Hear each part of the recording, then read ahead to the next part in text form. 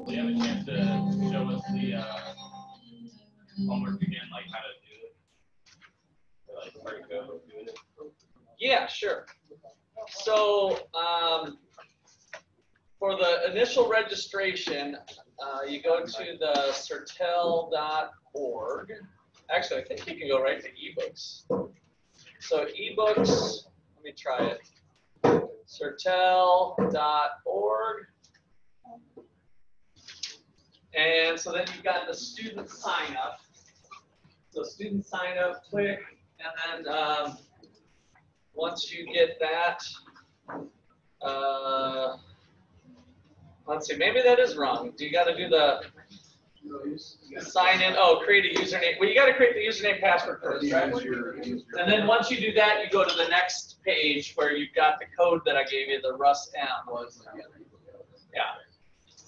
So, how many people haven't gotten logged in yet? Okay, just a handful of you. So make sure you get that um, done today. Why don't you come up after class and we can get you, make sure you get in. But if you have a general question or problems you're having, Like I was just wondering where to go once you go. oh, once you log in, you should have the ebook. Okay, yeah, so that's the book. So that's it. I mean, that, that's, I just wanted you guys to gain access to the book. So then the, the modules that we're doing, so part two was what I uh, suggested you read. Um, so maybe take some notes down on your notes for today. So basically, we're doing part two and part three. And so with part two, uh, let me see, uh, the student one is organized a little bit differently. Can I see your? Click your little uh, tab. So that, okay, yeah, so you've got the modules. So that along the left-hand side, there's uh, modules. And so what we're doing is part two of the book, which is modules, I want to make sure you get the right number, five, six, and seven. So this is mods five through seven. So along the left-hand side, if you pull up the little thing, those are the sections we've gone through. You'll see the videos that we've already watched. So this is just to get you ac- access to the, uh, more, you know, to the written content. And then part three of the book is what we're still working on right now that we'll be finishing up by Friday. Uh, mods eight through 11. So those are the only sections of the book that you got that you have to focus in on, part two and part three. You don't have to worry about the other modules. So basically modules five through seven. And uh, we left off last time, I think on, let me start today. Yeah, we're on mod eight, and we'll be starting with 3.2 is kind of where we're at today. We've done a little bit of eight. So any other questions about the content? So as long as we're on that, let me explain a little bit more on what your, uh, at least part of your assignments. I'm still kind of putting this together, but I know I'm for sure doing this. For each of these parts, they've got a little kind of homework. It's called a quiz, but there's a 10 question quiz for each module.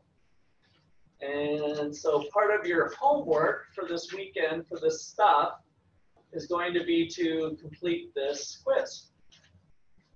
And so I'll have it uh, uploaded to our Blackboard shell, so you'll have that access.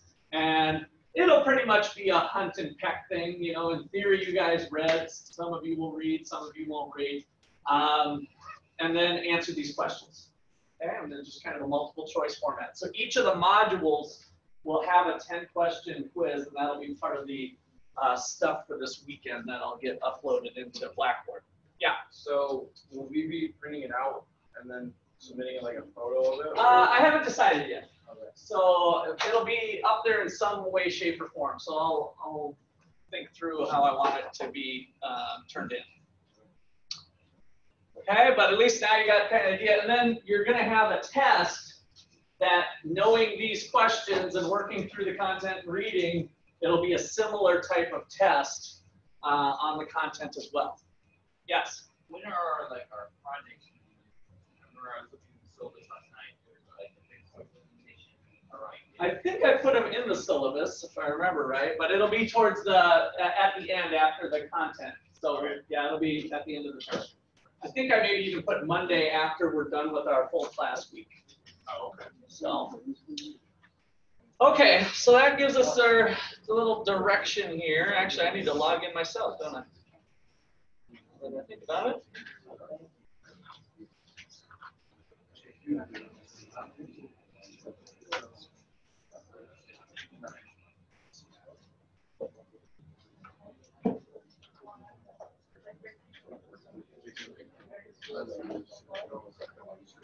All right, so, um,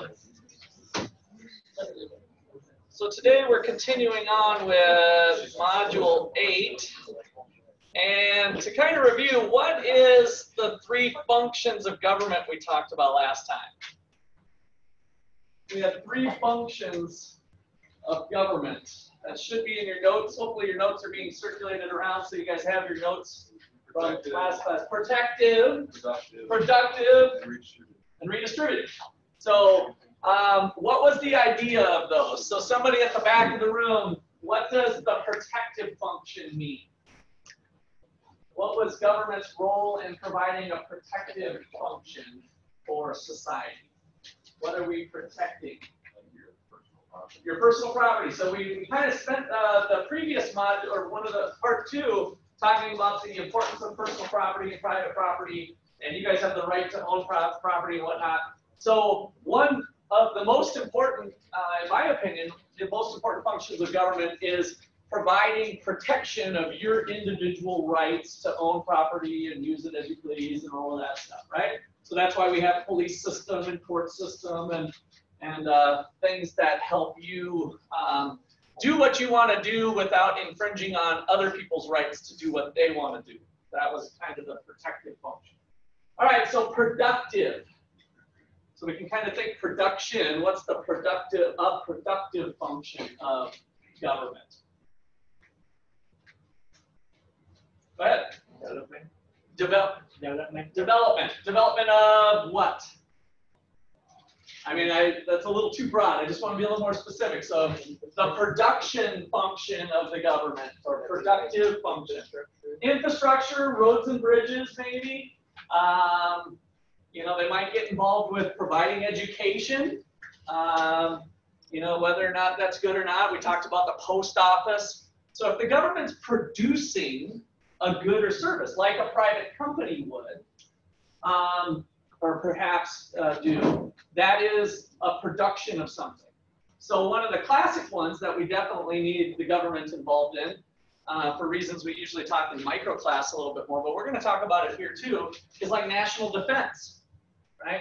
It might be hard for us to hire a private company to protect our nation, right? Uh, that we want. So we were going to have enough people involved, and so uh, having all the shared benefits that we get that uh, we enjoy in Kansas and they enjoy in Oregon or Florida or whatever.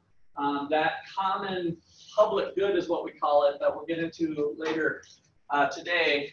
That is a productive function. So they're producing goods and services of some sort. Um, and then we can talk about, well, whether they should produce them or not. Is maybe a different question because in the, the stuff we've looked at, we prefer to put stuff in private hands. That's kind of what our country was based on. But what was the main reason that we get some good results from the invisible hand of the market that Adam Smith talked about? What was one of the key things that the private sector has that the government doesn't have, that sometimes the government is inefficient with some things? It's their own money. So using your own money, that was part of it. Yep, so if a private person is using their own money, they're gonna be more careful with their own money, right, and the decisions that they make. Yes, that was part of it, Bryce. Uh, competition. Competition, that's the big C word, right? So if the government controls it and they can force you to pay for it, it really eliminates the competition function, the competition element. And so the competitive function is the thing that keeps the greed in check if we have greed out there or we keep uh, uh, things, uh, keep people uh, having the most efficient process possible and the, the lowest cost and the lowest prices. So competition is really the secret sauce of a successful market system in terms of allocating scarce resources to their highest and best use. And when the government takes over the production of something, they don't have that competition because they can force the payment, they can set the rates, right? So we all of a sudden lose out on the benefits we had with competition. Okay, and then finally, the redistributive function. What's government doing there? Social security. Social Security, good. That was an example. Social Security, take from the young, give to the old. What other? Give me a couple other examples of redistribution. Yes. Take from the rich. Take from the rich, give to the poor. Okay. Give me another one. Medicare, Medicaid. Medicare, Medicaid. Take from the healthy, give to the unhealthy. Right. Give to the sick. Take from the employed, give to the unemployed. Right. So we've got this um, forcible taking of money. It might be for a good cause because I want to help old people out, I want to help sick people out, I want to help poor people out. The question is, is government the right place to be doing that? Is that the right institution, the right um, the right way to do it, or could private charity happen, uh, uh, help out, or be a, a sufficient substitute, or maybe even get better results? When we look at private charity, we're back into a market system. Do charities compete with each other for donor dollars? Do charities compete with each other for donor dollars? Absolutely. So what do they do to show that they're doing a good job to their donors and to people who they're soliciting money for? What do they do? What do charities do? What's that, Hugo?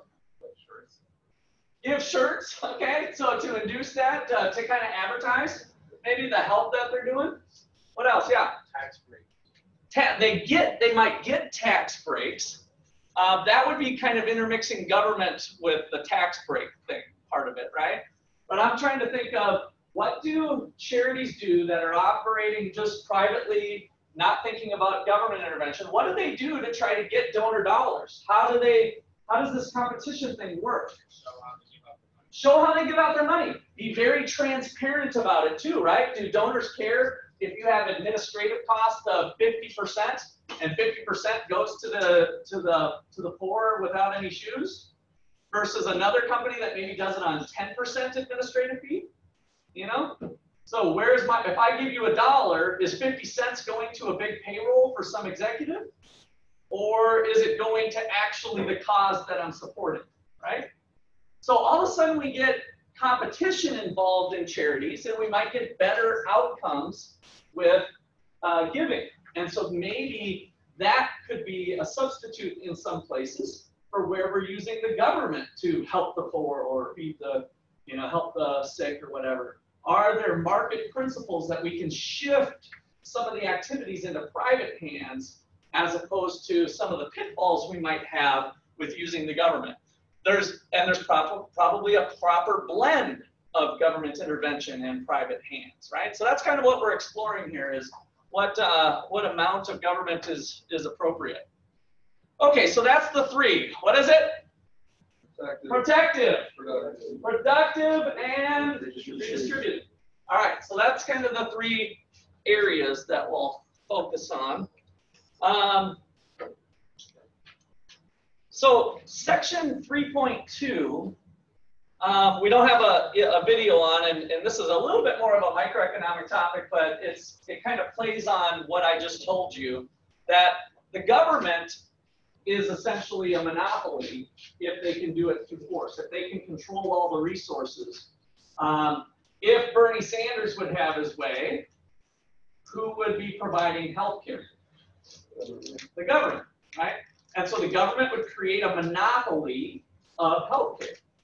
Now, maybe there'd be a blending of some private individuals, but otherwise doctors would get their paychecks from the federal government, just like uh, the state university system. The professors are essentially getting their paychecks. So would that be a better way to go, right? Um, that's a debate that's pretty uh, out there right now with, with healthcare. So um, this section talks about whenever we create a monopoly, whether it's government or whether it's a private sector, um, we're starting to eliminate competition, which was our secret sauce to having the market system work in the first place. So it changes incentives.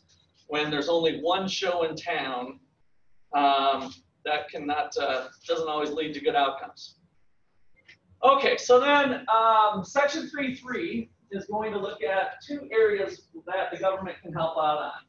And so public goods and externalities. So on your notes, if you want to put uh, special interest effects, this is the first video, special interest, and take some notes that you'll turn in like we've been doing, and here we go.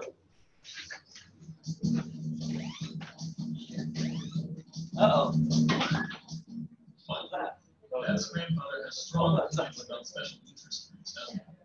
Why is he so unhappy about the convention center? If the voters or their elected representatives agree to build it, isn't that enough? Well, let's look at what economics has to say about it. Consider the following incentives and what they might imply. Voters have little incentive to inform themselves on candidates and issues. They recognize their vote will not be decisive. Politicians have a strong incentive to cater to well-organized special interest groups. These groups deliver votes, and they provide elected officials with campaign contributions and other forms of support.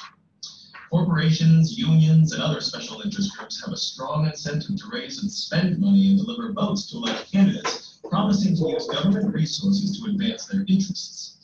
Those groups will also take counteractions to defeat candidates who do not. The political process is short-sighted. It encourages people in office to spend now and postpone the responsibility of addressing the issues associated with debt financing and tax increases into the future. Political allocation encourages sweetheart relations between the politicians and well-organized business and labor groups. The latter will shift resources away from production intended to satisfy consumers toward efforts to obtain grants, subsidies, and other favors from the government. The incentive of government enterprises and agencies to operate efficiently and constrain their spending is weak. As I mentioned in the last section, it's very easy to spend or even overspend other people's money. Bottom line, the political incentive structure indicates even democratic decision making will lead to various types of waste and inefficiency. It also explains why the two political parties often seem to have more in common with each other than they do with their constituents. The framers of the US Constitution recognized the dangers of concentrated power and majority rule. That's why they sought to limit political power and separated the federal government into three branches that would check against each other. The legislative branch passes legislation, the executive branch carries it out, and the judicial branch reviews its constitutionality. The framers also established two legislative branches. One, the House of Representatives, based on population, and the other, the Senate, based on equal representation for each state. Approval for both is necessary for the passage of legislation. The Constitution further limits the powers of the federal government to those specified in Article 1, Section 8, and the 10th Amendment of the Bill of Rights indicates. The powers not delegated to the United States by the Constitution, nor prohibited by it to the states, are reserved to the states respectively, or to the people. This structure is designed to limit the powers of the federal government and promote government action based on agreement and the consent of the citizens. With the passage of time, the United States has moved away from limited government and more toward majority rule. Let's take a closer look at what economics has to say about how the political process works and its implications for constitutional restraints.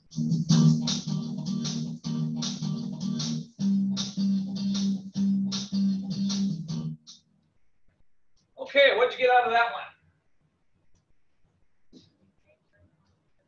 Danger and concentrated power. Good. That, that, and that's kind of the whole monopoly thing. Like, we're always worried about, oh, Google's going to rule the world or Amazon's going to rule the world. And so that's an example of where one person, Jeff Bezos, is starting to have some economic power. He's uh, last time I checked, he's, his net worth is around 130 or 140 billion dollars. So he's a big time billionaire. So the wealthiest person on the planet, I believe, is, is Jeff Bezos with Amazon. So does he have a lot of economic power, the power, the command to buy things? Yeah. And how did he get it? By selling things, which is kind of interesting with the rise of Amazon, right? So, um, you know, what would keep Bezos in check? What keeps his power in check? Regulation? I would say no, by the way, on regulation. Competition. Competition, from who? eBay. eBay, Walmart, Target, you go down the list, right? So now, he's been very successful at serving the consumer, but it wasn't unchecked, right? He had market discipline that was cracking the whip of him continuing to innovate and come out with ways, and his reward was $140 billion so far and growing, right? So it was all voluntary.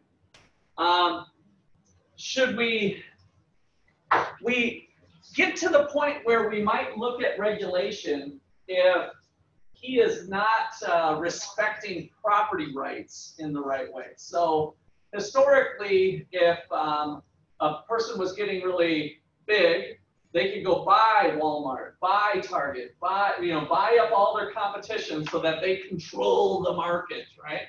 That's where regulation might be looked at. Um, but in a case where there's lots of competition, the government's not going to step in to regulate it, nor should they. Uh, it's okay to be rich in the United States.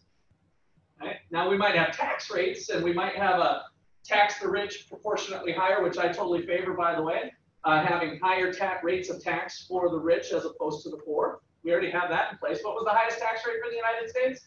39.5. 39.5 at the federal level. Believe me, Jeff Bezos is in that. Well, that that gets a little deeper than we want to go, but in some cases, in some tax years, he might be able to do some Mickey Mouse accounting that drops him into a lower tax bracket. So um, that that's possible, but in theory, whatever that reasoning was, if he's reinvesting back into his company, for instance, um, then that can grow the value of Amazon and cause his income to be less. It'd just be no different than you guys making $100,000 and living off 20,000 of it, and you invested 80,000 of it, right?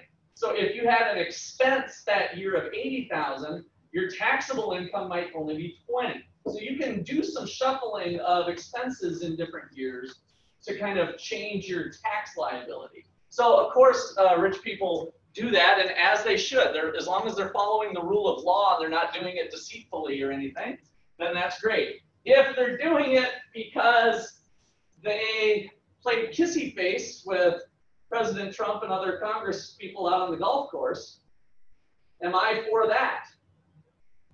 No, absolutely not. That's not capitalism. That's not market-based discipline. That is using the law, right? What did we call it last time? It was kind of a weird word that pirates plunder. Plunder. So if Bezos is able to play kissy face with the government and have laws in his favor to erect barriers to competition and create a monopoly or at least have barriers to entry and reduce competition, that's not capitalism. That's not the market system. We don't want that. We should have a good rule of law with the government that politicians aren't allowed to play kissy face with big business and alter and change. Now, our current system is somewhere in there doing that though, right? And so maybe we need, we have problems with the current system that we need to look at. That's part of what we're gonna continue to explore in this chapter. All right, questions or comments there? I wanted to highlight the three branches for a sec. Um, is it specialization or competition? Those are kind of two different things. So what are the three branches? Executive, Executive, which is who in the United States? President. President, legislative, legislative, and judicial. judicial. So we've got the three branches. Part of that could be to like specialize. Hey guys, we're gonna run the government. I'll handle the I'll handle the court system. You know, I'll handle the military, and you handle the changes in uh, laws and, and taxes. Right? It's kind of like a specialization, like we did with comparative advantage. Part of economics was uh, specialization. To some degree, that's true, but I don't think the framers of the Constitution had that in mind. I think they were trying to introduce a little bit of competition, a little bit to some degree. So the specialization is true, but the checks and balances that one branch can't go out and do something, they might be held accountable from the judicial branch to say, was that constitutional or not? If Trump goes and builds a wall, for instance, that was kind of the recent one, um, or the ban, uh, the Muslim ban, uh, did get upheld. So Trump lost that, it got appealed, it went to the Supreme Court. The Supreme Court said it was constitutional, right? So it was checks and balances was part of, I think, the framers' idea of having the three branches. It was specialization to some degree, but also to establish some checks and balances on the human beings that would actually be in these positions of power, the president and Congress, to make changes. So, uh, comments, questions there? Andrew, challenge? Or a comment? I, Uh, bring it on. No, I, I don't mean bring it on to like fight me or anything, but I want you guys to be thinking Well, so critically about this The, stuff. the, So. up, up, the the recent upholding for the Supreme Court on a lot of Trump challenges falling along party lines, five, four, five for the conservative uh, judges, for the dissenting liberal judges. Yeah, and in theory, we don't have judges that are Republican or Democrat, right? In theory, we have unbiased, you know, good track record, people who have had been in there. But yes, certainly, the conservativeness with judges typically falls in uh, judges who are quote unquote conservative are generally constitutionalists. So they're the judges that say, what we did in 1776 made, meant something, and the documents that were early, and we're trying to hold tight to that. That's what I believe my job is. The liberal judges are more of like, well, times are changing, and we got to kind of go with the flow as we progress through time, and so the Constitution is a little bit more malleable. That's usually the designation between conservative and liberal in the judicial branches.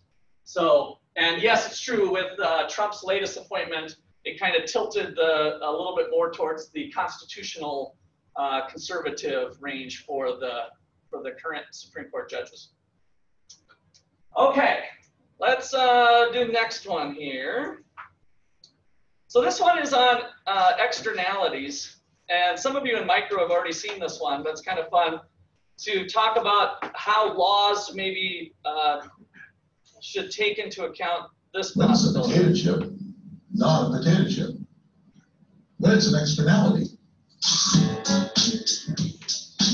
So I'll write the word down here, externality. You an externality is when a transaction between two people, call them Art and Betty, has an effect on a third person, Carl, without Carl's permission. Suppose Art sells Betty a potato chip.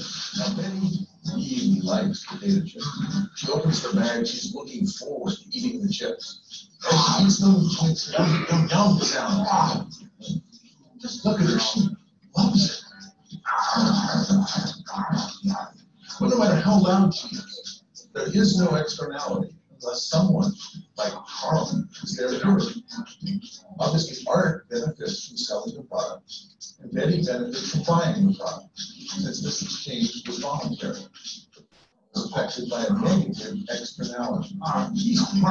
He didn't get anything, but he has to listen to all that. So it takes three to have an externality, a seller, a buyer, and at least one additional person who is not voluntarily a participant in the transaction. In a previous video, I claimed that prices can tell people the right thing to do. But if there are externalities, do prices tell us everything we need to know? Externalities, the price of something and its actual cost are different. The price is the amount that you paid to Art, but the cost is the amount Betty paid to Art plus the cost to Carl of having Betty potato chips in his ear during class. The problem with externalities is that prices do not capture all of the costs of the transaction. Instead, some of the costs are borne by people who never gave their permission. It seems like the solution would be to try to adjust price so that it coincides with the total cost. For many people, that means fix it with taxes. In other words, impose a tax equal to the difference between the market price and the true cost, to force the buyer and the seller to bear the full cost of this transaction. This is what economists call internalizing the cost. We may not need to resort to government action, of course. One way we solve externality problems is called manners. If Carl tells Betty her crunching is bothering him, she'll probably apologize and stop. Then there's bargaining, a solution proposed by R.H. Coase. If Carl complains, Betty might make a side payment, sharing her chips with Carl. Once Carl's crunching too, there are no externalities, only chips. Even if these solutions don't work, it may not be easy to fix it with taxes through state action. Remember, the problem is information. Prices don't contain the full information about costs. But where can accurate information be obtained? How can the state be expected to acquire more accurate information and then act on it effectively? The most interesting answer to these questions came from the original scholar to propose fixing it with taxes, A.C. Pigou.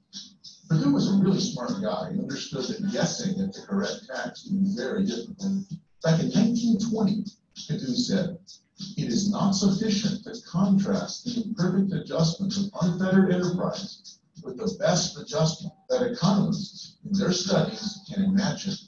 For we cannot expect that any state authority will attain or even wholeheartedly seek that ideal.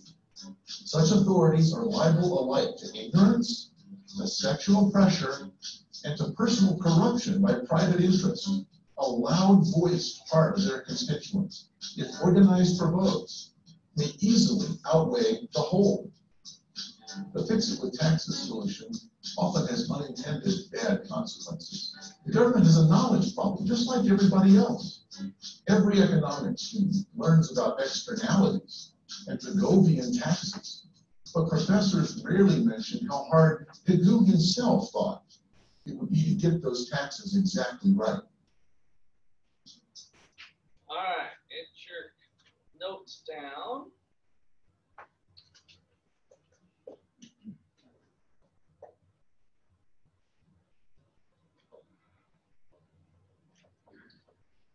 Okay, so in the market system, back a little picture from before, right? We're having an exchange of goods and services. We got dollars flowing over to businesses, pizza and chicken wings and beer coming to the households. These guys are exchanging down here. So that's kind of our general market system that needs these laws that we're talking about. So what was the problem in regard to property rights with the video? So you can accept, give me, uh, fill me in with the potato chip part. Go to the back of the room here. What was it with regard to property rights? What was the real problem? Yeah, Carson. The lady smacking on the chip. So what, in the form of property rights, like what was being violated, so to speak, with the chips? Had the lady and the guy and the potato chips. In terms of property rights, you know, what was wrong? Who had a right to what, or, you know, what's the deal? She had a right to eat the chips. Okay, she has, uh, um, she's got the right to the chips because there was a market exchange from Frito-Lay, right? So Frito-Lay or Walmart got the money, so that was the market exchange between Betty and Walmart. So she had the right to eat the chips. So now what was the problem? What property rights were going on there that created the problem that we call an externality? Let me go, let me go over here. Thanks, Hugo. You got the last one. He's good. Yeah, Jacob. Smacking her lips to, uh. Her lips too loud. So what, what was the deal with property rights though? What, where, talk, talk to me in terms of property rights. We had the smacking lips. That's what Carson had too. To. Okay, yeah. Do, do, does, does, what was his name in the video? Mark or Ray? Carl. Carl, yeah. I was thinking it was Crunchy Carl. So, so Carl has some sort of rights to possibly be quiet or to not be interfered. Like, could that have been interfering with something he was doing? Right? If you guys are doing an exam or homework or uh, you're in the quiet area in the library, right? Do you have a property right to silence in the library? What do you guys think? Do you have that kind of right here at our library to not be perfectly silent, but there's a reasonable expectation that it's going to be quiet in the library? Did you guys feel like you have that right? So economists would call that a property right. Now, do you have that same right in the cab? No, right? So you don't have that same element. So uh, property rights can come from expectations and culture. Um, could be that we have a right, we might have rules that says, you know, be quiet. I don't know, if, do we have any signs posted, be quiet in the library, or is there anything? No? I mean, it's just kind of, we've kind of grown up culturally in the United States. If you're in a library, you're being respectful of other people that might want to quiet. That's why you guys go there, right? So it's kind of this collective public good of the library as being a, a relatively quiet space that you can go do your studies in. So we've established a property right. And so with the film, an externality happens when somebody's rights are being infringed. Okay. What was the internalized part? What happened kind of towards the end of the video where without the government stepping in, um, the externality kind of, the externality problem went away. What did she do? Offering chips. Offered the chips, shared the chips. So now he didn't pay for the chips. She owned the chips, so the property rights were well established. There was this cultural norm of disrupting his silence. That problem disappeared by her being able to have a market transaction, if you will, of sharing the tri- chips. She had the right to give her chips away. So he got the chips for free to compensate for the noise, and the problem disappeared. So government intervention wasn't needed if we were able to better define the property rights. And that's kind of the message here that we um, might not need to turn to the government in every case of a problem, but rather maybe we need to redefine uh, property rights in some way, shape, or form. We talked about overfishing, um, that we might be able to have the permits that are tradable uh, for ocean fishing. That might help protect our populations of wildlife. We do the same thing here with hunting deer and, and fish and stuff um, in Kansas. Okay, so um, good on externality? What was the problem, lastly, of the government stepping in to solve the problem? When government intervened, what was the big problem you kind of highlighted in the film that gets often overlooked? Uh, the Pigovian tax and that sometimes are not enough. information. Not enough information is the key thing, right? Yeah, what is, Prices don't contain the actual information that's okay, so prices not having the accurate information, the solution was to, for government to somehow augment that price problem with a tax. By the way, it can go the other way too with a subsidy. So the government's intervening with money to try to equalize that equation. But the knowledge problem is the one that often gets overlooked. And many other econ classes, by the way, around the nation um, might be overlooking this because it's kind of standard textbook, like, oh, just set the tax equal to the externality and you solve the problem. That's what he was challenging here is that other economists would say, there's no way you could have enough information. Can we really measure Carl's angst and upsetness from the potato chip crunching? Who knows that the best? Carl does, right? And so even an outside observer, if we go and get, take a survey from Carl, we say, Carl, on a scale of zero to 10, like how much does this hurt you? Is that information really meaningful to be able to do a pricing decision with precision? No, it's not even close, right? And so we have a big time knowledge problem when we try to have um, the government step in to analyze it. Uh, it's what Hayek from our video, uh, which we'll get back to those videos here at some point too. I've got at least one more to show you. Uh, Hayek versus Keynes, right? Who was the government intervention guy, Hayek or Keynes? Keynes. So John Maynard Keynes, Keynesian economics was let's use government to do it. Hayek was leave the market alone. Well, Hayek's the one that said the reason why government intervention won't work is because we have this knowledge problem. It's, it's very difficult for the government to make really accurate decisions on quantities and prices of altering the market system.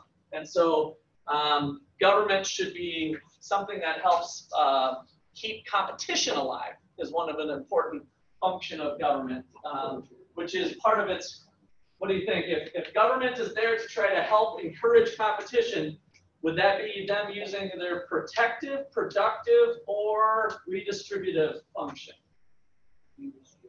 Redistributive? If we're just kind of helping people say these are the boundaries of what you what you can and can't do, and we don't want people to have you know big clubs to beat off the competition. What are they doing? Protective. Yeah, it's the protective function again. So that would be, um, you know, Hayek would be supporting the government having a really strong, good presence of the protective function. Let's have good police, uh, good court system, good uh, stuff like that to help uh, the market figure out what it wants to do. Leave the thinking to private individuals and just the kind of the bumpers and the laws to the government. Okay, uh, let's see, I wanted to go back to this. So part of what we're uncovering is that economics doesn't disappear when we turn things over to the government. We can think about political markets. And so to kind of highlight the differences here, for political markets, which is what we're highlighting, uh, there's an exchange going on between essentially government function, government agents, whether they be politicians or bureaucrats, employees of the government, and business, private businesses and private households, right? So we got households and businesses. What are they paying with? Votes, campaign contributions, right? And these guys are providing public policy goods and proposals of what we think society should look like. And so our system has a trade or an exchange of, of a different sort going on that we usually refer to the political markets. And so the question that we're exploring in this content is to say, do political markets give us efficient outcomes that we hope they would in a democratic process or otherwise? And what we're seeing here is that sometimes, uh, depending on what the incentives are, um, it might not work as well as we'd hope it would if we had angels running the government. Okay, uh, let's go here. Comments or questions there? On to the next video.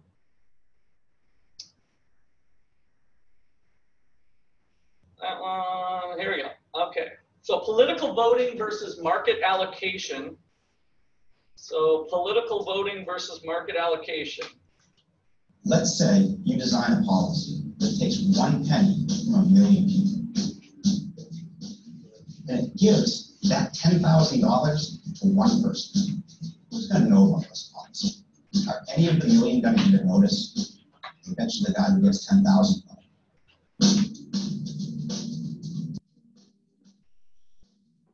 I'm Ben Donald, professor of economics at Suffolk University.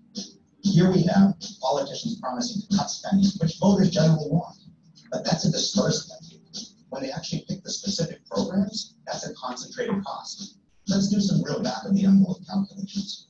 There's roughly 300 million people in the United States. Roughly half of them are registered to vote. That's 150 million. If half of them show up in any given national election, that's about 75 for your vote to change the outcome of an election, it will have to be exactly 37,500,000 to 37,500,000. And you showing up at the polls makes it 37,500,000 and one to the outcome to actually get a different result. What's the likelihood of that happening? Near zero. In fact, economists have figured out you're more likely to die in a car accident on the way to the polling place than to change the outcome of a major national election. As a result, voters are massively ignorant of the policies of their politicians, and it makes sense. But a lot of interest groups are very well informed about policies, not all of their politicians' policies, but those policies that specifically affect them. Farmers who get farm subsidies have a big incentive to know which politicians support their subsidies and how much they're getting.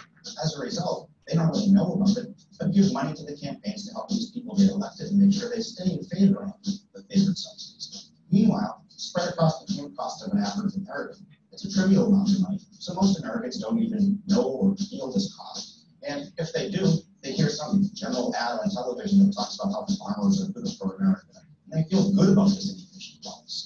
These same groups that lobby to get their benefits, lobby to keep their benefits. This is the logic of politics. And this is why we end up with more spending than the average voter usually wants.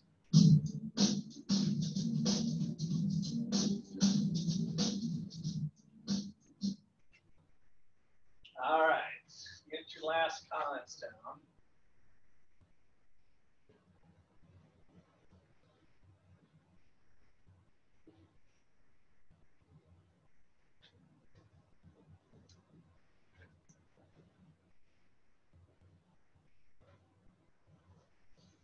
So there's a couple different things going on in the video. I want to hear from you guys. What was your big takeaway from that one that you were like, ah, I never really thought about that? Or something interesting.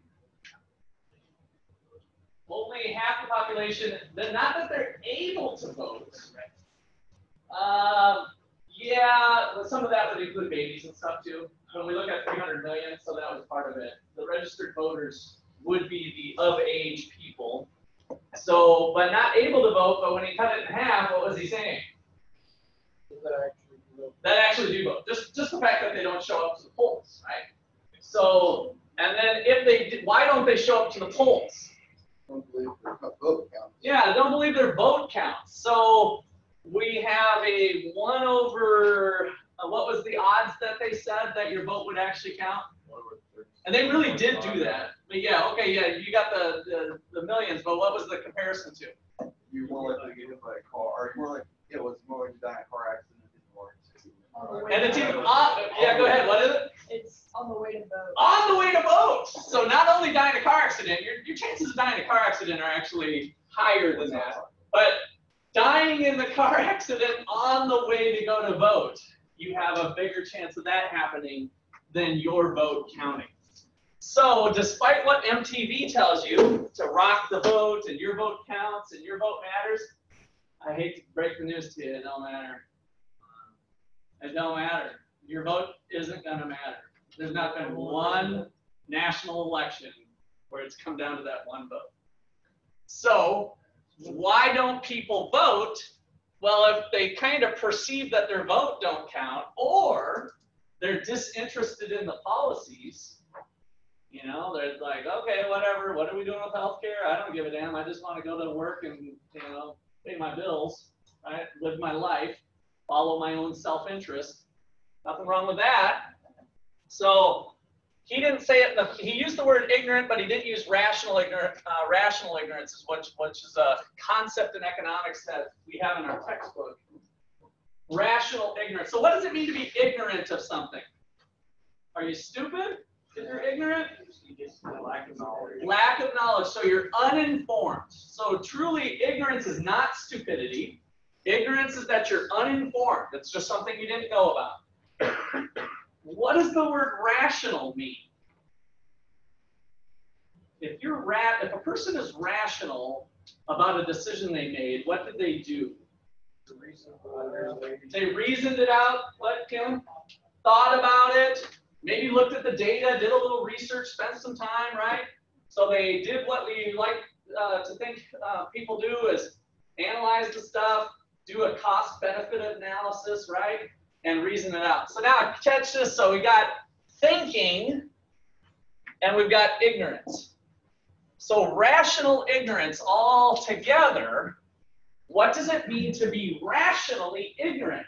And I'll just tell you, I'm rationally ignorant on a lot of stuff. I love it. It's good to be rationally ignorant. You'd almost be stupid if you weren't rationally ignorant, which is kind of weird to think about.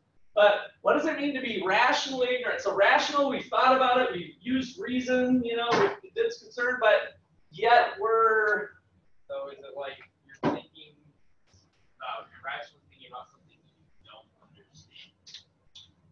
um no. Whether you don't want to know. So like, if somebody's like, you're want to hear, like, I just don't. I don't Okay, good. So that's kind of the right thing is is choosing not to learn about something.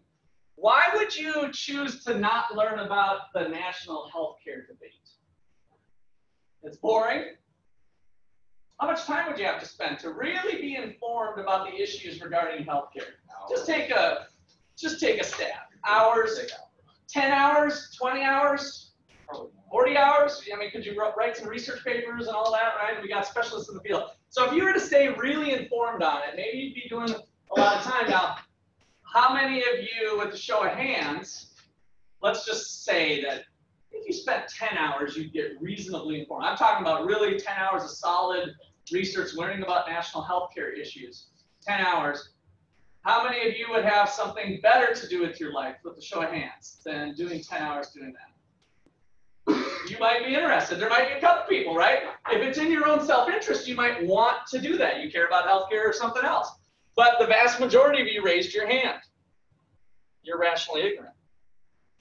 You maybe never thought about it that way, but you're saying if I learn about the issues, I'll be informed. Then when I go to the voting booth, stay with me. When I go to the voting booth, I'll be able to vote the way I know the issues and vote for one candidate or the other. So then hopefully that'll help me get my policy the way I think the world should look done. But now what's the probability of your vote counting to get your thing the way you wanted it?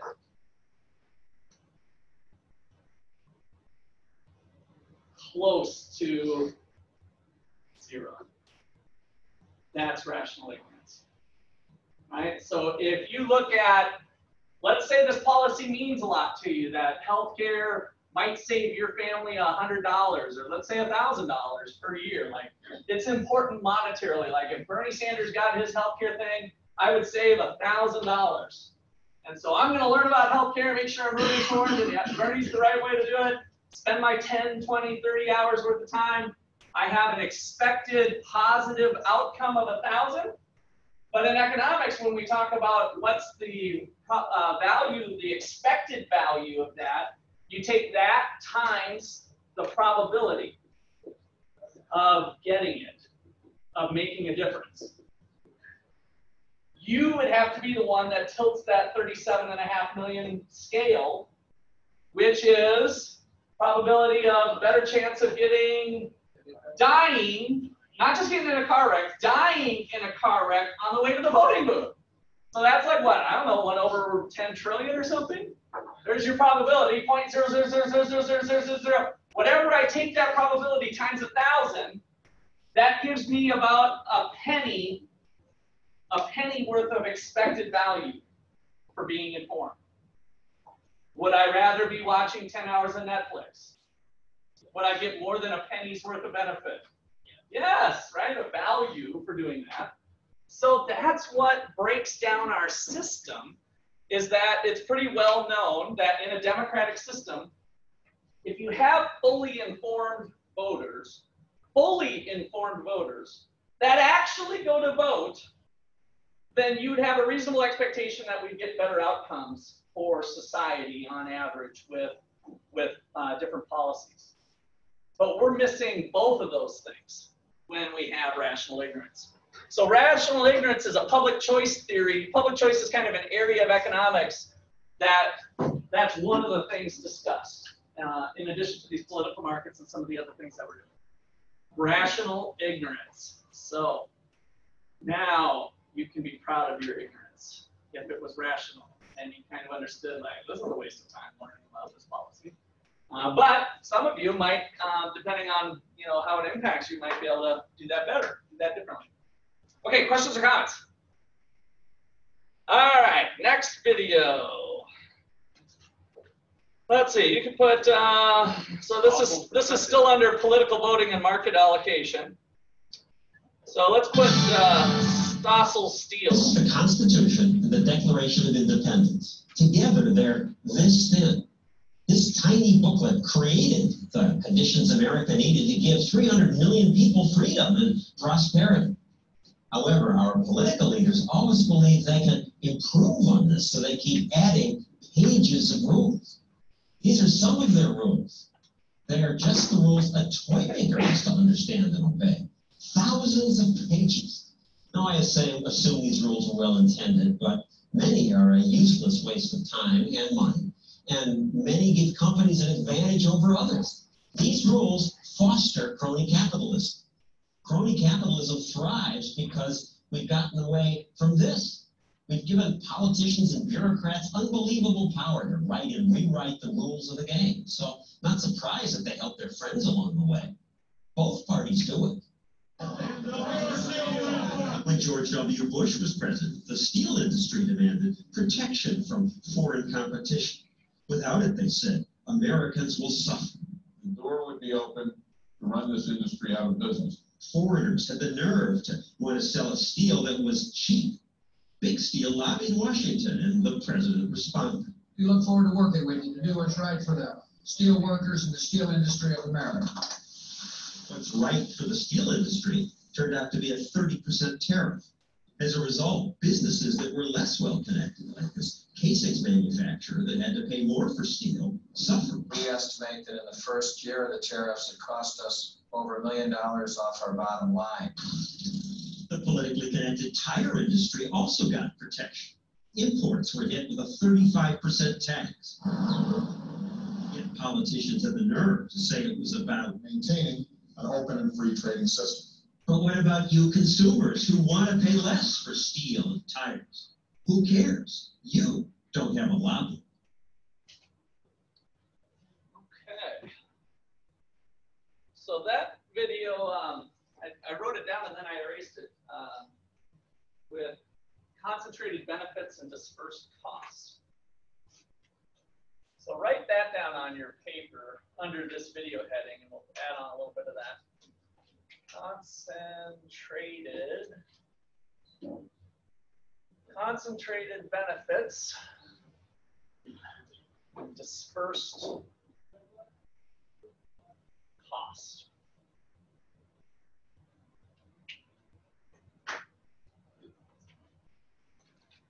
So, uh, from the video, what was he saying about there being an example of concentrated benefits and dispersed costs? Who got the benefits? The steel producers, right? So we had steel producers who were getting concentrated benefits, um, some sort of uh, protection from tariffs, and this could come in the form of subsidies or laws or other things too. But we got concentrated benefit. What's the dispersed cost part? To the consumers. And so what's going to happen to consumers? They're going to pay more for steel or steel products, which might mean that the cost of this clip, these are kind of expensive clips, these big ones, but you know, this might have been a dollar thirty-five, and now it's going to be a dollar thirty-seven. Does that get me outraged as a consumer? Yes. Two cent increase? Am I even gonna know? No, right? That's the problem with having government intervention into, or can be a problem of government intervention in the market, is that when we start doing, well, by the way, would that be the uh, protective function, productive function, or redistributive function? With the steel little video thing here. Protective?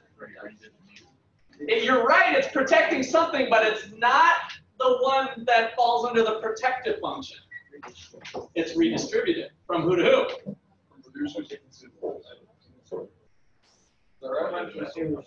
Consumers paying a dollar thirty-seven instead of a dollar thirty-five for steel. But I'm just one out of three hundred million. So now if you take those two cents times three hundred million, it's a significant amount of money going to the steel producers, right? So we have concentrated benefits and dispersed costs. And that's a redistributive function that the government is playing there. Um, the protective function, just to kind of be clear, applies to everybody's rights. So in this example, another way to think about it is why is that not the protective function? Who are they not protecting? Consumer. the consumer, right? So when we do the protective function, it's protecting kind of the general uh, rights of all of the individuals in terms of the protective function. Okay, any other last comments on that video? I got another one here. Oh, I wanted, before I did that, so he mentioned the word crony capitalism. If you can put cronyism in there, that's a theme that is part of public choice. And if you can write in your notes, big business, big government, kissy face. That's cronyism. That's crony capitalism. That's why I say it so often here. So big, and it's not capitalism. That's why he called it crony capitalism. But I hate to use that word because we've kind of drifted to calling it cronyism because that's not capitalism. So big government, big business, kissy face. Kissy, I don't think I've ever written this out. Kissy face. I'm putting K I don't know, nobody, U I or something, you can spell it however you want. So having, um, this legal plunder concept, and that's what this next video is gonna start on here. This is on, uh, Windows, you can call this video Windows if you want. He says crony capitalism, what's he talking about? Well, suppose you're in the window business. How do you get a leg up on the competition? Sure would help if government gave you a special tax credit and gave your customers stimulus money to buy your products. Would help even more if somehow you could get the president and the vice president of the United States to say nice things about your company.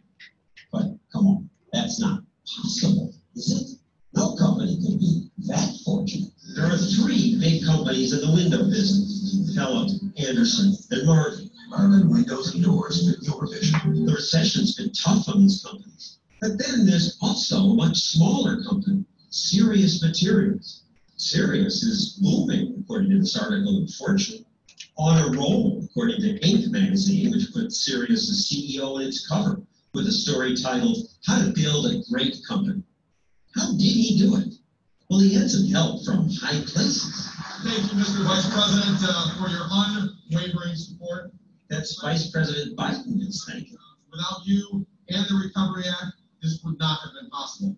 Biden returned the compliments. You're not just churning out windows. You're making some of the most energy efficient windows in the world. I would argue the most energy efficient windows in the world. Other window makers say, no, our windows are just as energy efficient. But the vice president hasn't visited their companies or even mentioned their names. And why am I talking about the vice president? I'm here today representing Serious Materials. How many company officials get to make introductions like this? It is my distinct honor to introduce the President of the United States, President Barack Obama. The president gave a speech on energy policy that cited as which company? Serious Materials just reopened, as he mentioned, manufacturing plant outside of Pittsburgh. These workers will now have a new mission, producing some of the most energy efficient windows in the world. Wow, what a dream endorsement. And just last week, the president announced a new set of tax credits for so-called green companies.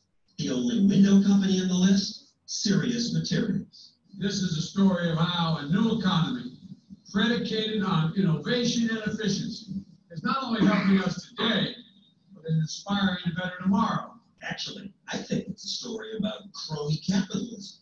It's almost as if the government and Serious Materials are partners. The company VP of Policy testified in Congress. Thank you for the opportunity to appear here today and share Serious Materials' experience in creating green jobs. And here he is in this picture with so-called energy leaders at the U.S. Department of Energy. And who's the woman in the middle? Kathy Zoi, who oversees the government's weatherization program. She has big plans for your tax money, she explained in a conference. Where literally SWAT teams go into neighborhoods and they retrofit every single house and every single business on Main Street. Oh, and I left out a little fact. Kathy Zoi is the wife of the vice president of policy of Serious Windows. So of all the window companies in America, maybe it's a coincidence that the one that gets presidential vice presidential attention and a special tax credit is one where company executives give thousands of dollars to the Obama campaign and where the policy director spends nights at home with the energy department's weatherization boss. It could be coincidence, and there's apparently nothing illegal about this. In Kathy Zoi's ethics agreement, she did disclose her marriage that says she would recuse herself from any matter that had a predictable effect on her financial interests. But it sure looks funny to me. And it's odd that even the liberal media has so much interest in this one company. Vice President Biden says the stimulus bill's funding for making buildings more energy efficient is expected to drive up demand for the kinds of windows made by serious Materials, which has caused the company to ramp up its production. That's how it works. Economic stimulus. Ta-da is right. That is how it works. But government handouts that go to one favorite company, why is that right? Okay, get your comments down.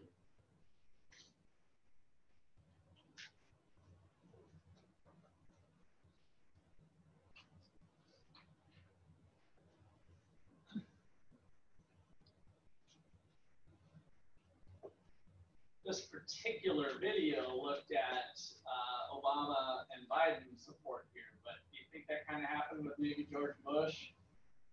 Did it happen maybe with Trump? Does that type of thing happen in other places? Yeah, this this is going beyond party lines, right? So that is one of the I think the biggest dangers of um, in our country is having this cronyism. We need to have a good protective function um, so that we don't have stuff like that happen. So, uh, okay, so video comments. Let me go come to you guys here first. Let me come to the back of the room. What'd you get? Your manual? Did you put? You're not sleeping, are you?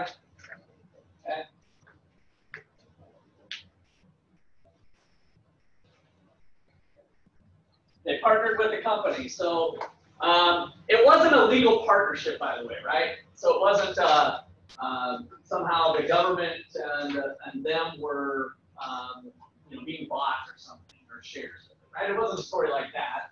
Uh, in other countries, that does happen, um, where uh, communist China has a lot of that, where the government wants to be a part of it. Like, you can come to our country and do your thing, but we're going to be a 51% shareholder. So it's possible that other countries could have policies where um, the government relationship with the private businesses is really tight in terms of even ownership. But here it was just support, right? So having it uh, be supported somehow um, with a special guest speaker or whatever. Uh, other, one more comment from the video? Emmanuel, give me a number between uh, 3 and 10. One, two, three, four, five. Uh-huh. Uh, I kind of wrote down something about like Nancy uh, government like they uh, favor. A little bit of favoritism anyway, right? Um, not necessarily monetary handouts, but some sort of, favoritism is what cronyism is getting at. So that can come in a large uh, variety of ways. Um, it might just be as simple as, as like the endorsements that we just heard. Um, Okay, so when does the, let's do a little quiz here. When the average voters don't pay too close attention to details of politicians' proposals, it's an example of rational ignorance, political allocation, or market allocation. When voters don't pay too close attention to politicians' proposals. A, B, or C? A, right? So when we're not paying attention to it, um, it might be for a very good reason. We're not stupid, we're just choosing to be ignorant. Okay, good. Um, so next section is going to focus in on special interest groups. So this is a short little video. You can just put special interest if you want.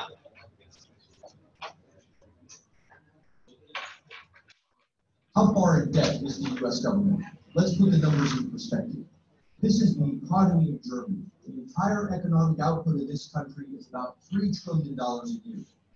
This is the amount of money the federal government is borrowing from the Social Security and Medicare trust funds, about $4 trillion. Here's China's economy, here's Japan's economy. Here's the amount of money the federal government has borrowed from private citizens and from other countries, about $9 trillion.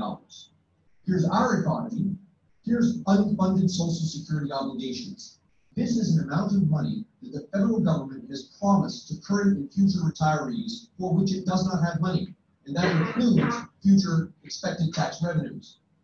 Here's the European Union, here's unfunded Medicare obligations. These are promises of medical care the federal government has made to current and future retirees which it cannot cover.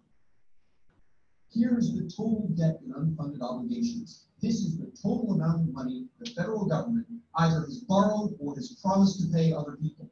At $65 trillion, it outstrips the economic output of the entire planet.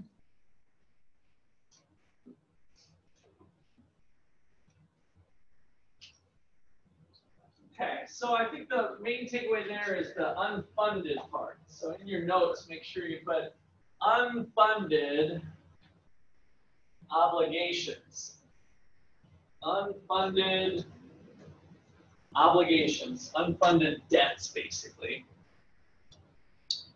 So then my question is, what's an unfunded debt. He kind of said it in the video, maybe a little quick, but this is the section, this is where we're getting into some overlap of the stuff that we'll do for mod eight too, but when we get back into our text. So, yeah, Daniel? Promised funds that they don't have the money to pay immediately. Yeah, um, Force the bridge. not even immediately. So that, so you're right, promised funds. We don't have it, so we couldn't pay it immediately. Um, so it's not like we're behind, uh, how should I say? We can make the obligation today. So when we look at somebody who's bankrupt, you have illiquid and uh, basically um, unfundable, or you, you can't, uh, you've got a cash flow problem. So we're able to meet our obligations today, but based on future projections, we can't make those promises under the current system. So what is unfunded? What did he, he had them on the list kind of, and there's probably a big looming one that we'll talk about for sure later. Dakota? Social Security. So it's known as the Social Security time bomb. Um, the Social Security system runs out in 2038, I think is the last uh, estimate that I saw. So what that means is we don't have the funds projected to be able to make that. So we, we make assumptions on um, income and population and growth of the United States. And so the current structure today, let's call today versus tomorrow. So today is 29 or 2020 now, 2020, and I think it's 2038, but don't hold me to it. We basically are saying, suppose we're at $20 trillion of GDP, which is our income, right? And if the economy keeps growing at 2 to 3%, we'll make some projections that GDP in 18 years maybe we'll be up to, let's just say, again, I'm just making up some numbers here, 40 trillion, right? So we'll be up there if we had 3% growth using the rule of 70, by the way. 70 divided by 3% growth would give us that. Remember how we did those exercises with projecting growth? So they're doing the same thing. And then we also have the population and the aging population. Are old people tending to live longer or shorter nowadays? Longer. Longer, and 18 years later, will healthcare probably improve so that they live even longer? Yeah. Probably, yeah, right? So if they're normally uh, uh, dying at around 85 or whatever the mortality rate is now, but it, usually if you make it to age 50, your odds of making it to 85 are really good, even though our overall death probability is around 74, 76. Um, but if you make it that far, well, now 18 years from now, who knows what medicine's going to look like? Maybe that 85 year old will live to 95, right? So they're kind of looking at all of that complexity, and they're basically saying the current system expires. It don't work. It's unfunded before here. So we don't have enough money set up to be able to make that work. And so we've got obligations to seniors. We've got obligations to you guys, by the way. I know it's hard to imagine your guys' life 18 years from now, but right now, as an American citizen, I know not everybody in here is American citizen, but as an American, your social security deal was you're going to be putting in money from your paycheck, and then at the end, you're going to get some payment back. And the way it's looking now is you guys shouldn't plan on that. The system's going to change. They're either going to raise the retirement age, which they've already done multiple times, so they're going to have to change some variables on you uh, to make it funded. So that'll be kind of, we'll get into even more details on our fiscal policy chapter on that. Okay, questions, comments? All right. Um, let's see, this is just a short little example that I'm going to skip that. There we go, 308.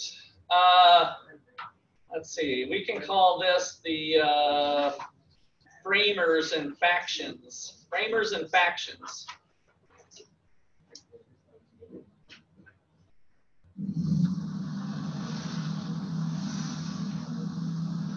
What can I do for you today? I would like to raise my debt limit. Excuse me? My debt limit, I'd like to raise it. Because last time I checked, Mr. Smith, you were in serious debt. Yeah, yeah, it's pretty bad. We should raise that limit. Yeah, it says here you're one hundred and forty thousand, two hundred and seventy dollars in debt. Right, so I figured we should raise that limit to about hundred and seventy thousand. I just thought a was sixty inch flat screen. Have you ever been to Australia? No. Leaving tomorrow, mate. You should check it out. Great car sound. Do you have some new income that I don't know about? Ah, no, I'm still making about twenty-one grand a year. Okay, and are you still spending thirty-eight thousand dollars a year? That's what it says. So you're adding seventeen thousand dollars a year in debt. Oh, so it comes out to. Debt limit going up. Ding. Have have you made any cuts in your expenses? Oh, of course, yes. Uh, my wife and I cut three hundred eighty dollars out of our annual budget. Three hundred eighty dollars. World. So you're, you're, you're making, you're adding, okay, so you're adding seventeen thousand dollars a year to your one hundred thirty thousand dollars in debt, and you cut three hundred eighty dollars. Say it like that, makes it not sound like a lot. Hey, maybe you should think about generating some new income, maybe a new job, maybe ask for that raise. Oh, asking for that raise, that's not, I'm not comfortable. That's an awkward conversation. I, I've always been able to raise my debt limit. Yeah, well, this is the limit. Well, how? We're in the middle of a recession, and your credit rating will plummet if you continue to go along this path. I almost had it. Um, You you don't see that. My budget hundred and eighty dollars. Are you kidding? I'm sorry, Mr. Smith. We can't help you. I'm very sorry. My wife is gonna lose it. I mean, three hundred and eighty dollars is bad enough, this is gonna end our marriage. We stopped talking to each other for a month, the baby was totally freaked out. Yeah. Yeah. Side there. All right, our kid's a blessing. I mean, she's got plenty of time to deal with all this, right? Absolutely. Are we all set? You're all set. All right. Let's go, kiddo. We gotta meet mommy at the car store. I think this is yours. Thank you. Enjoy. There's your annual deposit there. I think the video's almost done anyway. So household debt, hundred forty thousand, income twenty-one, spending, take on some new debt and cut that. That was his story. Does that sound like a good place to be? Yeah, whose perspective? Whose perspective is gonna care about that? Who was the kid in the video, by the way? What, Kalen? Oh, I thought you were, you did kind of this and that, so I thought you had the answer. When that time bomb explodes 18 years from now, I'm 48 right now, so I'm like 68. You guys won't even be retirement age, right? So another 40 years from now, I'm 98. I'm expected to be dead. You guys, on the other hand, are 20-ish. 40 years from now, you're 60. Who was the kid in that video? Uh, you. Uh, right? I'm getting to enjoy the debts that are being taken on now. I'm the dad. But we have what's called generational transfers that go on when we have stuff like unfunded liabilities. We're basically passing on the spending that we enjoyed today to go into a bigger debt limit, to raise our debt limit. I get to enjoy that money today. And then tomorrow, when it needs to be paid, I'm dead, you're alive, you're paying. Because it's the government, they can force you to pay. You're like, I don't want to pay. Well, too bad, you go to jail, right? So that's the whole forced thing. So that's a little, uh, little place where we're going here with the debt and deficit. So comments on the video. Let me finish off the video and then we'll open up. I don't know if there's much more. Oh, there we go.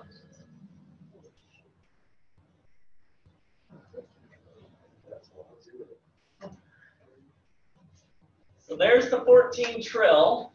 This is an old number, by the way. Does anybody know what we're at now?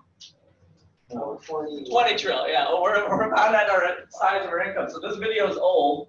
We'll, we'll get into the actual numbers when we get into um, our, our next material coming up here. But so 14 trillion, uh, income, spending, whatever, down the road. So that was kind of playing off of actual numbers.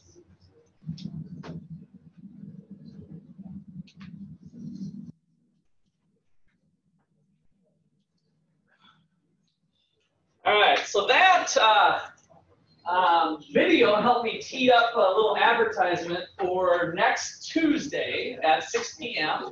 You guys are going to have an extra credit opportunity. Um, so we're going to have a debate on the national debt. What's the problem with the national debt? So there's going to be three debate teams. Uh, myself and a student, Nate Hamilton, one of the one of my econ majors that's already been in your chair already. So our two graduate assistants, uh, Jacob and Jason. Jacob's the one that subbed for class that one time. You got, I probably haven't met Jason. You might have seen her. Jason's a, a she, so it'll be my two graduate assistants with the Gwartney Institute. And then, for the first time on the debate stage for fun like this, is Dr. Ryan Lewis, our communications guy. So he's going to debate part of it. So that's kind of the three teams, and he's going to be with, uh, I don't know her personally. I think it's Sydney Coleman, maybe? Does anybody know Sydney Coleman? Is that somebody? Yeah. Okay, so Sydney Coleman, I think, is going to be Ryan's partner. So that's the three teams. Uh, Nate and I, uh, Sydney and Ryan, and Jacob and Jason. And so that'll be just from 6 o'clock to 7 o'clock, Tuesday, uh, this coming Tuesday, and we'll have some extra credits. So you'll see some stuff coming in the uh, mailings and stuff. The whole university is invited, and we'll have popcorn and snacks and kind of fun like we did the last last term with the debate. All right, um, so let's see. Let's roll off with this question here. In a democracy, political decisions are made by majority rule, mutual agreement, voluntary exchange, A, B, or C? A. A, right? So that's all we get out of democracy. Um, sometimes we really hang our hat on democracy, but there's some problems with majority rule, namely the minority. What about them? Um, so that's one thing that doesn't happen in the market exchange. Okay, so a little bit more on the debt and deficits for Module 10. So government transfers, take from the rich, give to the poor, all that stuff. So you can call this video government transfers.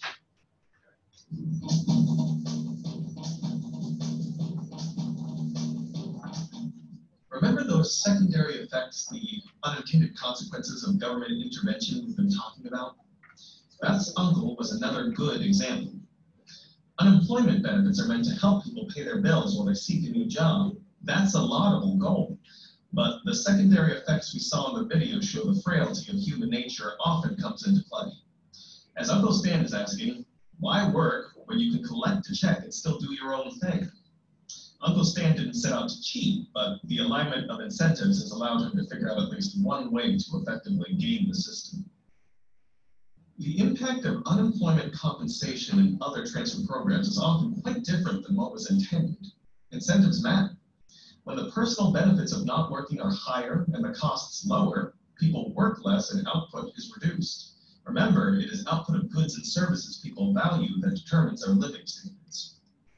Transfer payments tax some individuals, that is, takes money from some individuals in order to transfer income to others. In recent years, income transfers have grown rapidly, and they now constitute nearly half of government expenditures. On the surface, it seems like transfer payments would be an easy way to help the poor and reduce income inequality, but this has not been the case. As the transfers have grown, the poverty rate has stagnated and income inequality has increased. How can this be? A sizable share of the transfers are directed toward recipients in middle and upper income brackets. However, even when assistance is directed toward those with low incomes, welfare, unemployment, and other programs often reduce the incentive of recipients to work and maintain their skills, making it even more difficult for them to move up the job ladder. As a result, transfer programs often have unintended consequences. The war on poverty illustrates this point. Prior to the War on Poverty programs initiated in 1965, the poverty rate in the United States had been declining for two decades. But Shortly after the increase in transfers accompanying this program, the poverty rate leveled off and it has changed little since the late 1960s. Economics indicates that it's far more difficult to improve the well-being of a group of people with income transfers than is generally recognized. This module provides additional details on this seemingly paradoxical point.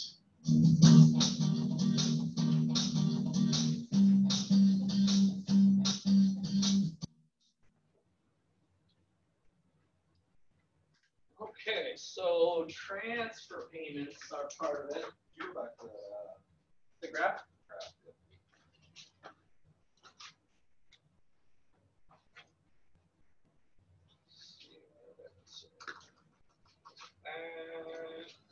there it is. One, one more. Yeah, so what's known as the war on poverty, that's when we started doing like uh, the housing projects that maybe you've heard of that have been kind of um, some areas that, uh, well, now have been torn down a lot in different places, but that was part of the war on poverty that Lyndon B. Johnson uh, initiated back in the in the 60s. And so the point they were making is that there was oh, there was reductions in poverty that were starting, and then we've been pretty pretty flat. Okay, so um, what did he say transfer payments make of government spending? Half, yeah. And I got bad news for you. It's actually higher than half now. Again, I, I don't know when they recorded that video, what tax year they were looking at. Um, but it, it's floated up over 60%, 60 to 60, even during the uh, 2008 financial crisis, at times it was as high as 67%. So we'll look at some of that stuff too. So again, protective function, what's the other P one? Protective, productive, and redistributive. So now if we think about, we're building roads and bridges, we're hiring police officers, we have a court system in place, right? So we've got some of those protective functions and all of that stuff. Of our government budget, which of those three functions is the biggest? Redistributive. So that's been mostly what, um, or that's where at least our dollars are going, tax dollars are going um, currently. Um, here is a snapshot of the United States from 1960 to 2000, whatever, pretty much present day. So what's a deficit? What is the deficit? So in 1985, we had a deficit. That was during the Reagan era, by the way. So President Ronald Reagan was in office, and we had a deficit. Spending more than we make. Spending more than we make. So the government spending, which is spending on the protective function, the productive function, and the redistributive function, that spending exceeds how much do they make is what Jacob said. So where how does the government make money? Tax revenue. Tax revenue. So in terms of tax collections coming in, we don't charge enough taxes to pay for our spending, which creates a deficit. When we have a deficit, how do we pay for that spending we didn't have enough money for, enough tax revenue for? Government bonds. Government bonds, good. Pulling out my little trinket of toys here. One of these, right? So Trump runs out of money. I owe you $1 million. Sell it to Wall Street, sell it to China. We don't care. This bond goes out into the financial system. And now we have enough money to pay for these programs, protective, productive, and redistributive functions that the government's doing.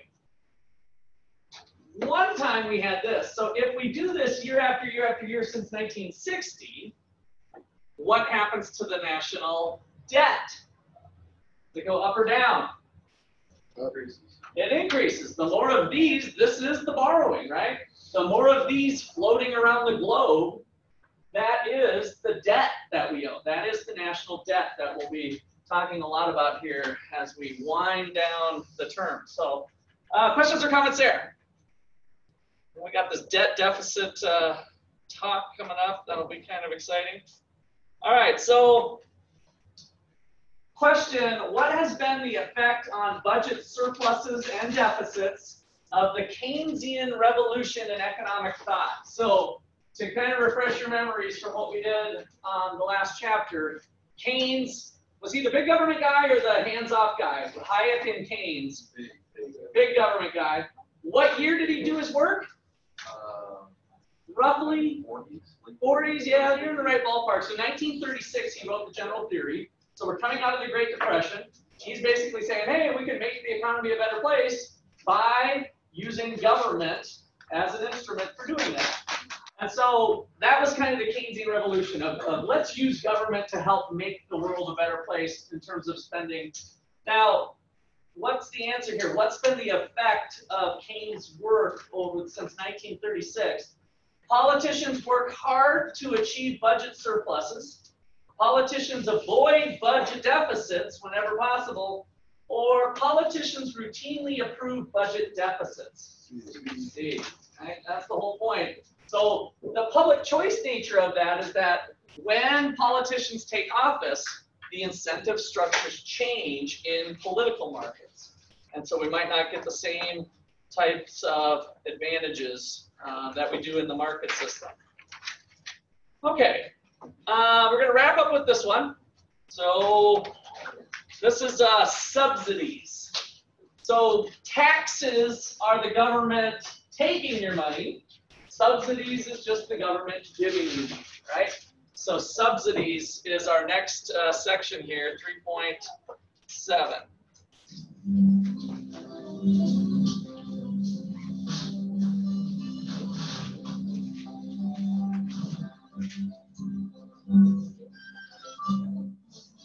To waiting.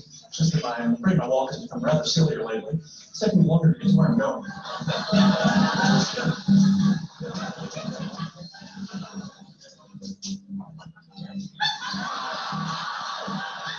I wish someone would pay me to spend more of my time silly walking. This would add greatly to my happiness, possibly yours too. At least I think. But I haven't figured out a way to paid for silly walking unless I can get a government grant. I'll have a, a silly walk, and I'd like to obtain a government grant to help me develop it. I see. Uh, may I see your city walk? Yes, certainly, yes. If there were government subsidies for silly walks, if they gave me money to develop new walks, for example, or promised to buy a certain number of walks I created, there would be more silly walks than there are now. Isn't that a great idea? It's not particularly silly, is it? With government backing, I can make it very silly. You probably think it's not a great idea because silly walks are, well, they're silly. But even if you agree with me that silly walks benefit society, there would be good reason to oppose subsidies. If people aren't willing to pay me to develop silly laws with their own money, it says people don't value them as much as other things I can do. I can flip hamburgers, walk dogs, sell used cars, or teach economics. Things people would pay for voluntarily. We'll get more silly laws for subsidies, but they'll be worth less to people than they cost to produce. That means the subsidies would waste resources. What about other more serious subsidies? Defense, social security, health, housing, education, city walls. What about subsidies for food? You might have seen a bumper sticker that says no farms, no food, or something like that. Some people have argued that food subsidies are necessary to ensure food security. Without subsidies, they say, we won't have enough food. But subsidizing food production is a lot like subsidizing silly walks. Yes, get more food, but the subsidies will waste resources. It'll be food that costs more to produce than it's worth. All right, get your comments there on silly walks. Okay, call it the silly walk. I'll give you my best here.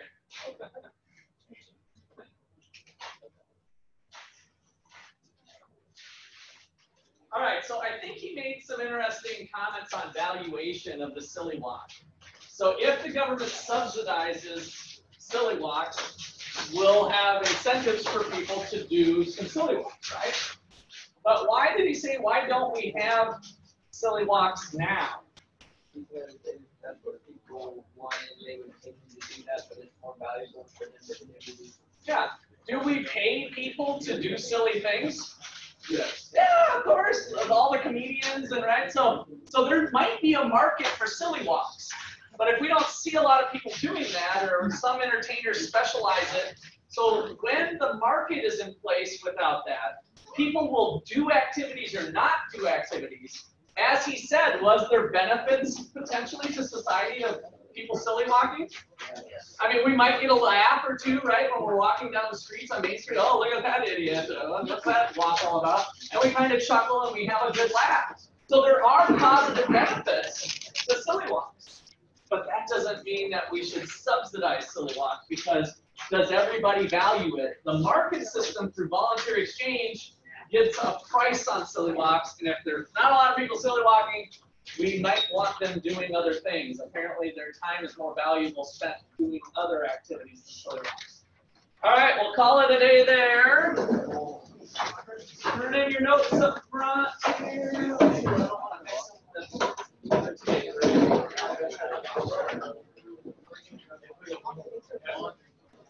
If any of you didn't pick up your notes from last, from previous times, um, I have them up here, so come up and get them if you were gone last time or whatever.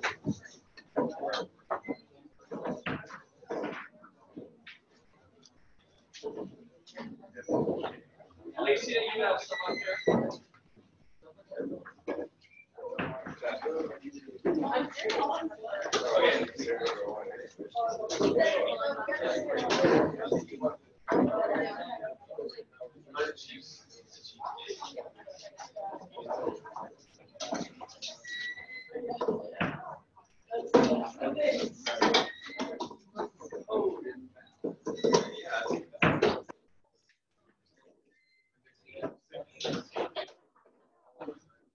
Okay, you guys, if you can do it right now, let me, uh, they were, they were messing around with the system. She has sent, uh, different, she created a code, and I don't know why it would be closed right now, but, um, try this code right now.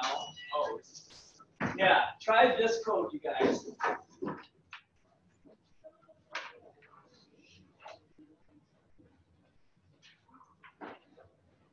They did, I had to work with them a lot last week on trying to get the student code to so they finally gave me the Russ M just as a workaround. So they might have closed it down, let's see if it works.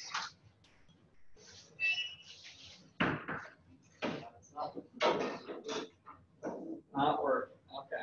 Not working. And so, did you guys try before, and, and what browsers are you guys on? Chrome, Chrome and, I think, Okay, you tried the other ones too? Okay, let me uh, give them a call. So the Russ M is not working. We got at least a handful of you that worked before, obviously. um, okay, let me uh, send out, get that corrected. Look for an email from me later today. Um, if you don't see an email by just even later on this afternoon, shoot me an email and I'll try to give you an update. Okay? All right. But otherwise, I'm going to to get that resolved right away.